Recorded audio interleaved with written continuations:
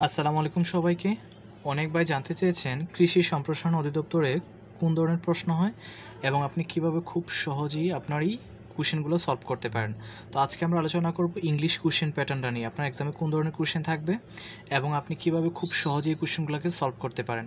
Previous ইয়ারের প্রায় অনেকগুলো কোশ্চেন নিয়ে আজকে আমরা আলোচনা করব। আশা করি সম্পূর্ণ ভিডিওটি যদি একটু সময় নিয়ে দেখুন, অনেক উপকৃত হবেন হবেন এবং আপনার এক্সামে যেই ধরনের কোশ্চেন থাকবে এবং এই কোশ্চেনগুলো আপনি কীভাবে খুব সহজেই সলভ করতে পারেন প্রপার একটা ধারণা হবে আশা করি।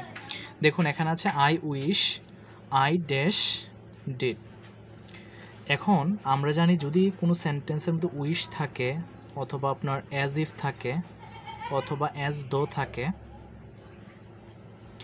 এগুলার পর যদি কখনো ভিভার্বের প্রয়োজন হয় ভিভার্বটা হবে আপনার were as if as though wish এই ভার্বগুলোর পর যদি কখনো ভিভার্বের প্রয়োজন হয়, এখানে ওয়ার হবে। দেখুন, এখানে আই উইশ আইয়ের পরে অনেকে আমরা এম বসাই দিই। কিন্তু এখানে যেহেতু আমরা জানি উইশের পর যদি কখনো ভিভার্বের প্রয়োজন হয়, এখানে কি হবে? ওয়ার এরপরে দেখুন, এখানে আছে use the right form of verbs Suma dash before I came মনে রাখবেন বিফোরের পূর্বে সবসময় পাস্ট পারফেক্ট টেন্স হবে।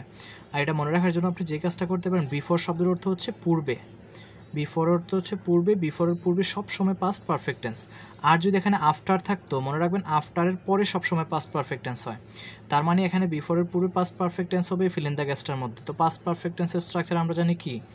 যে হেডের পরে ভার্বের পাস্ট পার্টিসিপাল ফর্ম থাকলে সেটা পাস্ট পারফেক্ট টেন্সের স্ট্রাকচার তার মানে এখানে হেড লেফট হচ্ছে কারেক্ট অ্যান্সার এরপরে দেখুন which word is in singular form মানে এগুলো এই চারটা অপশনের মধ্যে কোনটা সিঙ্গুলার ফর্মের মধ্যে আছে সেটা জানতে চাইছে। এখানে যে ফেনোমেনন দেখতেছেন, এটা হচ্ছে সিঙ্গুলার ফর্মের মধ্যে। এটার প্লোরাল ফর্ম হচ্ছে এই ইউএনকে যদি উঠাই দিয়ে আপনি এ বসাই দেন ফেনোমেনা যদি বসান, এটা কি হয়ে যাবে? সিঙ্গুলার প্লোরাল হয়ে যাবে। তার মানে এটা এখন সিঙ্গুলার আছে। আর এগুলো হচ্ছে প্লোরাল লাইস মাইস। এখানে আছে for the boys the task was very easy এটার প্রপার টেক কোয়েশন কী হবে সেটা জানতে চেয়েছে তো আমরা জানি কি, যদি কোনো সেন্টেন্সে অক্সিলারি ভার্ব থাকে টেক কোয়েশন করার সময় আমরা অক্সিলারি ভার্বটা নিয়ে আসব।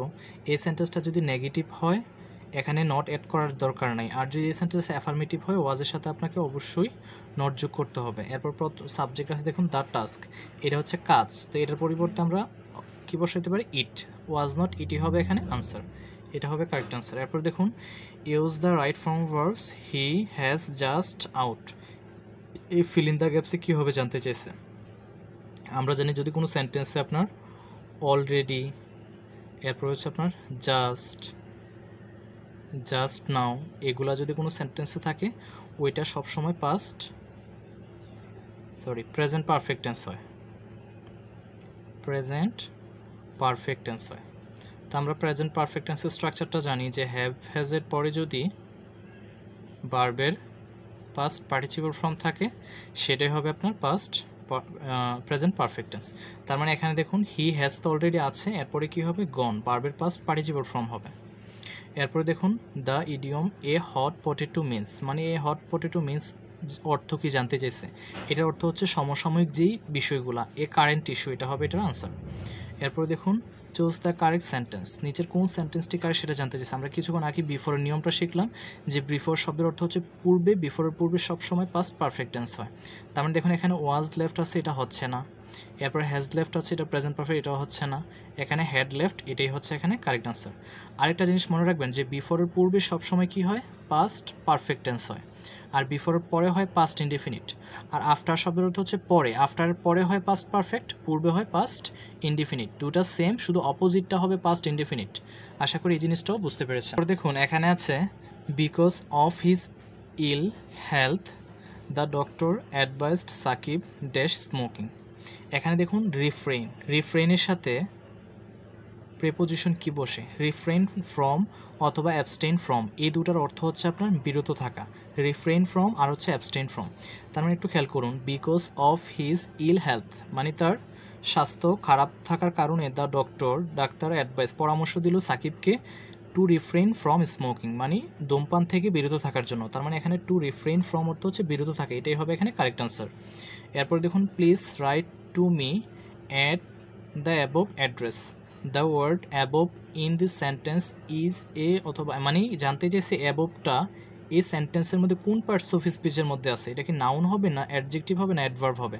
আমরা জানি অ্যাড্রেস অ্যাড্রেস হচ্ছে একটা কি? নাউন নাউনের পূর্বে সবসময় কি বসে? অ্যাডজেক্টিভ বসে। তার মানে এটা হচ্ছে এখানে অ্যাডজেক্টিভ এরপর দেখুন he ran with great speed the underline parts of sentence is এটা কি পার্টিসিপাল ফ্রেজ নাকি অ্যাডভার্বিয়াল ফ্রেজ নাকি অ্যাডজেক্টিভ ফ্রেজ না নাউন ফ্রেজ এটা হবে অ্যাডভার্বিয়াল ফ্রেজ মানে অ্যাডভার্ব ফ্রেজ মনে রাখবেন যে কখন কোথায়?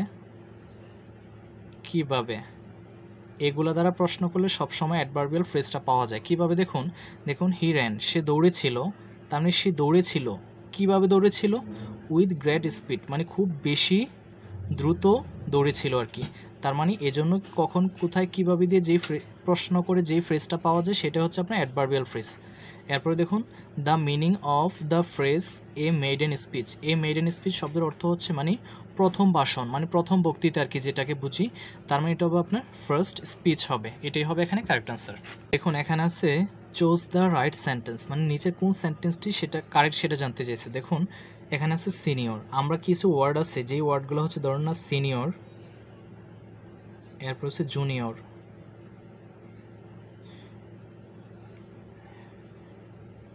ইনফেরিয়র সুপারিয়র প্রিয়র দেখুন senior junior inferior superior prior এই ওয়ার্ডগুলোর পরে সবসময় টু হয়। দেন না হয় টু হয়। এটা মনে রাখবেন। দেন না হয়ে টু হয় এগুলোর পর। তার মানে দেখুন he is senior than me হবে নাকি he is senior to me মানে সে আমার চেয়ে বড়।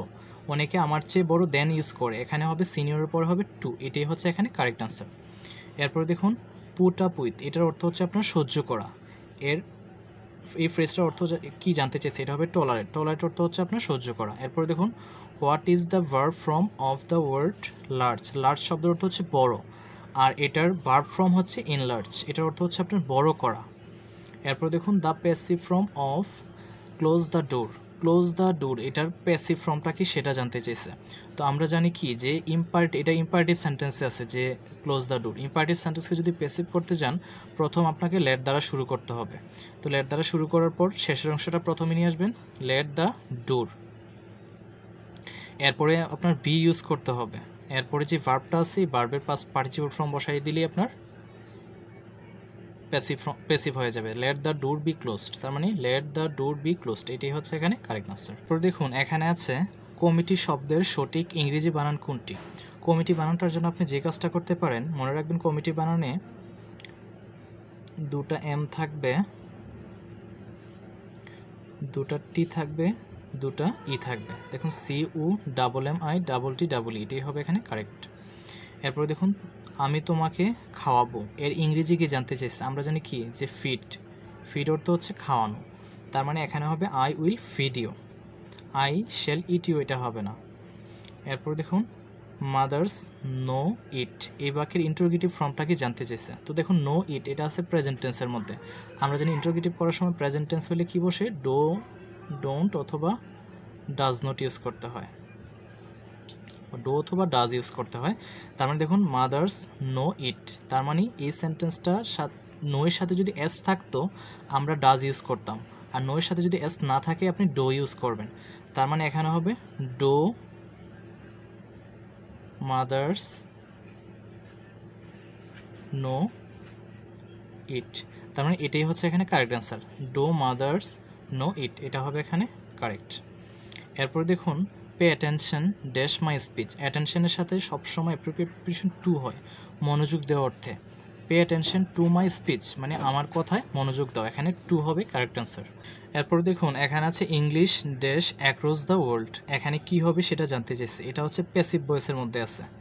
তো মনে রাখবেন, যদি প্যাসিভ ভয়েসে থাকলে আমরা জানি কি অ্যামিজার পর নর্মালি ভার্বের সাথে আইএনজি হয়, কিন্তু প্যাসিভ ভয়েসের ক্ষেত্রে অ্যামিজারের সাথে ভার্বের পাস পার্টিসিপল ফর্ম হয়, তার মানে এখানে হবে ইজ স্পোকেন আর প্যাসিভ ভয়েস চিনার উপায় হচ্ছে যে সেন্টেন্সের সাবজেক্টটা কাজ করতে পারবে না, সেটাই হচ্ছে আপনার প্যাসিভ ভয়েস দেখুন English is spoken across the world মানে বিশ্বব্যাপী ইংরেজিতে কথা বলা হয়। তার মানে এখানে ইংরেজি কিন্তু ইংরেজিতে কথা বলা হয়, ইংরেজি কিন্তু এখানে কোনো কাজ করতে পারতেছে না। যে যেই সেন্টেন্সের সাবজেক্ট কাজ করতে পারে না, সেটাই হচ্ছে আপনার প্যাসিভ ভয়েস এরপরে দেখুন the feminine form of the word author এখানে অথরের স্ত্রীবাচক শব্দ কি সেটা জানতে চাইছে। অথরের স্ত্রীবাচক শব্দ হবে আপনার অথরেস হবে। তার মানে এটাই হচ্ছে এখানে কারেক্ট আনসার এরপর দেখুন অ্যাক্টর অ্যাক্টরের স্ত্রীবাচক শব্দ কি সেটা হবে আপনার অ্যাক্ট্রেস দেখুন there is dash milk in the glass এখানে মিল্কের পূর্বে কি হবে? এ ফিউ হবে না এ লিটল হবে সেটা জানতে চেয়েছে এখানে হবে আপনার এ ফিউ আমরা জানি মিল্ক হচ্ছে একটা আনকাউন্টেবল নাউন আনকাউন্টেবল নাউনের পূর্বে সবসময় এ লিটল হয়। আর কাউন্টেবল নাউনের পূর্বে হয় এ ফিউ যেমন যদি বলি কি আই হ্যাভ ড্যাশ ফ্রেন্ডস এখানে ফ্রেন্ডসটা হচ্ছে কি কাউন্টেবল নাউন তার মানে এটার পূর্বে কী হবে? এ ফিউ হবে। যে I have a few friends আমার কিছু বন্ধু আছে। এরপরে দেখুন what kinds of noun honesty এখানে অনেস্টি কোন নাউন হবে সেটা জানতে চেয়েছে অনেস্টি হবে এখানে অ্যাবস্ট্রাক্ট নাউন এখানে পাঁচ প্রকার নাউন আমাদের চিনতে হবে। দেখুন প্রপার নাউনটা হচ্ছে ইন্ডিভিজুয়ালি যদি যে কোনো একটা জিনিসের নাম বোঝানো হয়। যদি বলি কি? যে সাকিব।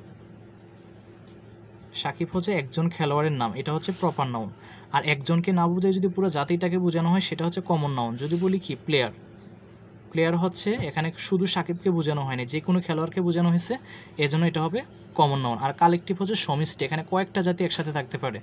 যদি বলি কি, যে টিম টিম অর্থ হচ্ছে দল। দল বলতে আমরা কি বুঝি? একটা দলে কয়েকটা জাতি, ছেলে, মেয়ে, যে কেউ থাকতে পারে, এজন্য এটা হচ্ছে কালেকটিভ বা পিপল পিপল অর্থ হচ্ছে লোকজন। লোকজন বলতে এখানে ছেলে, মেয়ে সবাইকে বোঝানো হয়, পুরুষ, মহিলা সবাইকে বোঝানো হয়, এজন্য এটা হচ্ছে কালেকটিভ নাউন এরপরে দেখুন ম্যাটেরিয়াল নাউনটা হচ্ছে যেই জিনিসগুলো আমরা কি করতে পারি না কাউন্ট করতে পারি না, কিন্তু ওজন করি, সেটাই হচ্ছে ম্যাটেরিয়াল নাউন কীভাবে? দেখুন, যদি বলি কি যে অয়েল অয়েল অর্থ তেল। তেল কিন্তু আমরা কি করতে পারি না, গণনা করতে পারি না, কিন্তু ওজন করি। যদি বলি কি ওয়াটার ওয়াটার অর্থ কি? পানি। পানিও আমরা গণনা করি না, ওজন করি। এই টাইপের নাউনগুলো হবে ম্যাটেরিয়াল নাউন আর অ্যাবস্ট্রাক্ট নাউন হচ্ছে যে জিনিসগুলো হচ্ছে আমরা হাত দিয়ে ধরতে পারি না, কিন্তু ফিল করতে পারি। সেটা হচ্ছে অ্যাবস্ট্রাক্ট যদি বলি কি লাভ অর্থ ভালোবাসা, এটা কিন্তু আমরা ফিল করতে পারি, এজন্য এটা অ্যাবস্ট্রাক্ট নাউন যদি বলি কি অনেস্টি অনেস্টি অর্থ কি সততা। সততাও আমরা কখনো হাত দিয়ে ধরতে পারি না, কিন্তু এটা ফিল করা যায়।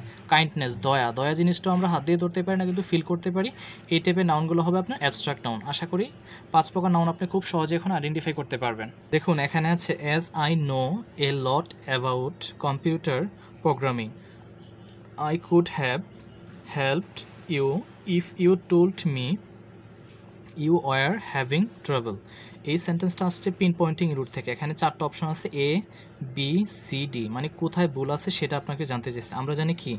যে যদি কোনো সেন্টেন্সে ইফ থাকে, সেটা হচ্ছে আপনার কন্ডিশনাল সেন্টেন্স তো কন্ডিশনাল সেন্টেন্সের পূর্বে দেখুন কি আছে? এখানে আছে কুড হ্যাভ তো আমরা জানি could have might have would have এগুলো থাকলে থার্ড কন্ডিশনাল তো থার্ড কন্ডিশনাল যদি হয়, তার মানে ইফের সাথে কি হবে?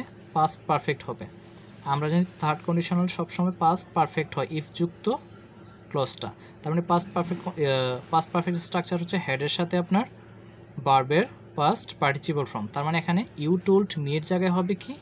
যে ইউ হ্যাড টোল্ড মি হবে এখানে কারেক্ট আনসার এরপরে দেখুন at the creation of the young boys venture his family was more nervous than him আমরা জানি দেনের পরে সবসময় কি হয়? সাবজেক্টিভ প্রনাউন হয়।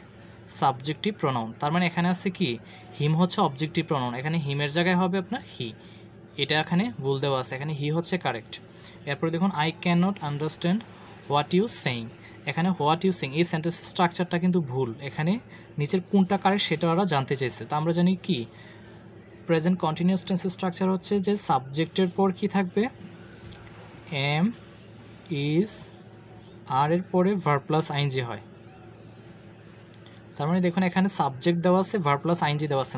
মাঝখানে এম ইজ আর ওয়াজ আর কিছুই দেওয়া নেই।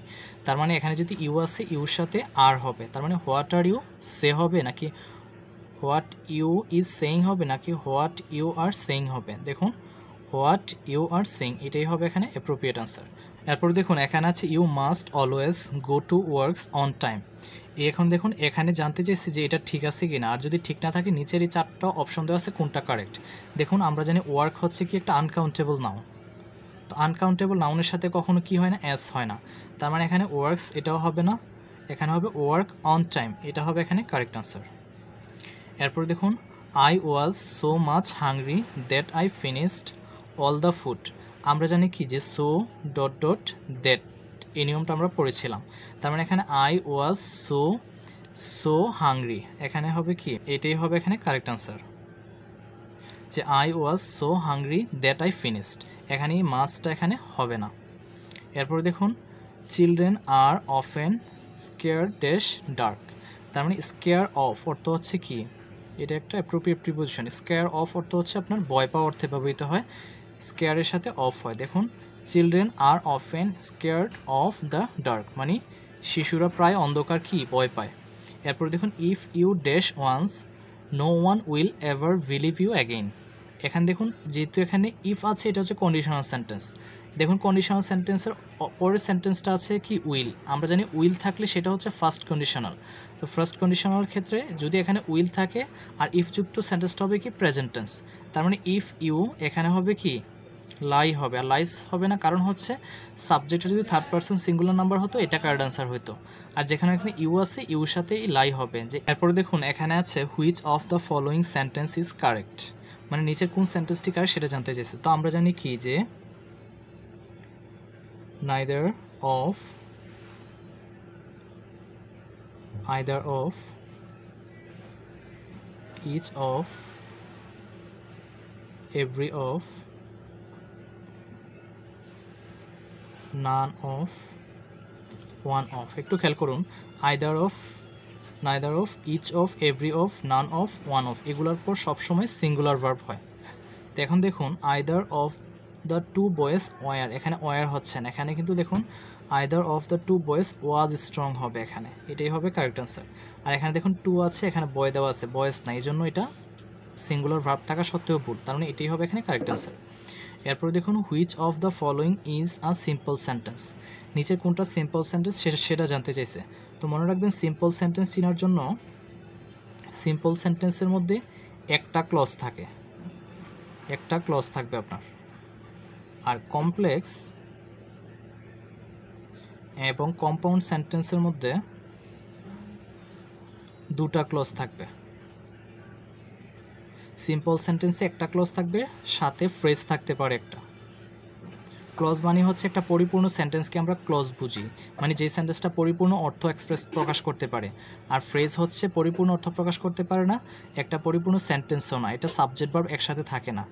তার মানে সিম্পল সেন্টেন্সে একটা ক্লজের সাথে ফ্রেজ থাকতে পারে আর কমপ্লেক্স এবং কম্পাউন্ড সেন্টেন্সে দুটা ক্লজ থাকতে পারে। এখন প্রশ্ন হচ্ছে, চিনবেন কীভাবে যে কোনটা কমপ্লেক্স কোনটা কম্পাউন্ড দুটা ক্লজ যে থাকবে, দুটা ক্লজের মাঝখানে যদি অ্যান্ড বাট অর থাকে, সেটা হচ্ছে আপনার কম্পাউন্ড সেন্টেন্স এছাড়া দুটা ক্লজ থাকলেই সেটা কমপ্লেক্স দেখুন দ হি ইজ পোর এখানে হি ইজ পোর কিন্তু একটা ক্লজ এটা একটা পরিপূর্ণ সেন্টেন্স সে হয় গরিব।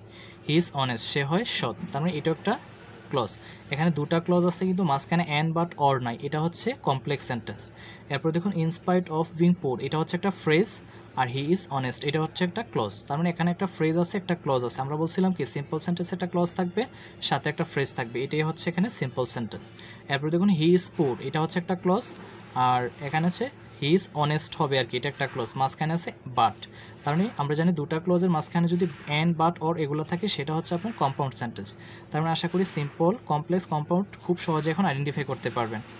এরপর দেখুন he said I was studying in the library তার মানে এখানে এটার ইনডাইরেক্ট মানে ন্যারেশন করতে বলছে আর কি, এটা ডিরেক্টে আছে ইনডাইরেক্ট করতে বলছে। তার মানে এখানে শি আছে শি সেট যেহেতু এটা অ্যাসার্টিভ সেন্টেন্স আমরা এখানে দ্যাট ইউজ করব। আর এখানে আইটা আসবে এই সাবজেক্টটাকে ধরবে। তার মানে এখানে যেহেতু শি আছে, এখানেও শি হবে। আর এখানে আছে পাস্ট কন্টিনিউস টেন্স আমরা জানি পাস্ট কন্টিনিউস টেন্স থাকলে সবসময় পাস্ট পারফেক্ট কন্টিনিউস টেন্স হয়। তার মানে এখানে হবে আপনার হ্যাড উইন হবে।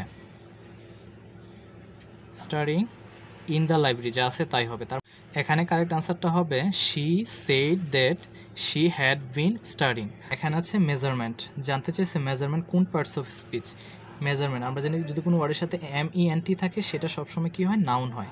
এছাড়াও আপনি মনে রাখতে পারেন যে tion tion ment ness, hood, ship, CE, CY, CH, TH, ER, OR, UR, URE, dom, S ISM IST Y TY ITY দেখুন tion tion ment ness, hood ship CE CY CS TH ইয়ার war UR URE dom, S ISM IST Y, T Y TY ITY এই ওয়ার্ডগুলো যদি কোনো মানে এইগুলো যদি কোনো ওয়ার্ডের শেষে থাকে, সেটা সবসময় কী হবে? নাউন হবে। এরপর দেখুন, কোন বানানটি শুদ্ধ? এখানে লেফট হ্যান্ড বানানটা কোনটা শুদ্ধ সেটা জানতে চাইছে। তো এটা মনে রাখার জন্য আপনি যে কাজটা করতে পারেন যে মিথ্যা তুমি দশ পিঁপড়া, এটা দিয়ে আপনি খুব সহজেই এই বানানটাকে মনে রাখতে পারেন। নাহলে এটা আমরা অনেকেই ভুল করে ফেলি। মিথ্যা বলতে আমরা বুঝি লাই, আর তুমি বলতে বুঝি ইউ, দশ বলতে বুঝি টেন, আর পিঁপড়া মানে হচ্ছে অ্যান্ট এ দেখেন L I E U T E N A N T left hand বানানটা হচ্ছে এখানে এল আই ই ইউ টি এটাই হচ্ছে এখানে কারেক্ট আনসার এরপরে দেখুন থিফ শব্দের প্লোরাল ফর্ম কি জানতে চেয়েছে তো আমরা জানি কোনো ওয়ার্ডের শেষে এফ বা এফই থাকলে প্লোরাল করার সময় বিইএস বসাই দিলে হয়ে যায়। দেখুন, এখানে এফ আছে, তার মানে T H I E VES thieves এটাই হবে কারেক্ট অ্যান্সার দেখুন, যদি বলি কি ওয়াইফ ওয়াইফের প্লোরাল ফর্ম কি হবে? ওয়াইফস হবে। এখানে এফের পরিবর্তে আমরা বিইএস বসাই দিলে হয়ে যাবে। যদি বলি নাইফ নাইফের প্লোরাল ফর্ম কি? দেখুন এফই যেহেতু আছে, তো আমরা কি করব?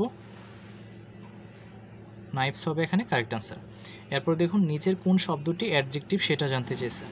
এখানে হবে আপনার স্পেশাল স্পেশাল এটা হচ্ছে অ্যাডজেক্টিভ মনে রাখবেন, যদি কোনো ওয়ার্ডের শেষে যে ful some less A L N T A N T E N T BLE এগুলো যদি থাকে ফুল সাম বিউটিফুল হ্যান্ডসাম এরপর less A L N T confident বা ইম্পর্ট্যান্ট বা রেসপন্সিবল বিএলই এন টি এগুলো থাকলে মনে করবেন সেটা হচ্ছে আপনার অ্যাডজেক্টিভ আশা করি বুঝতে পেরেছেন। Thanks for watching this video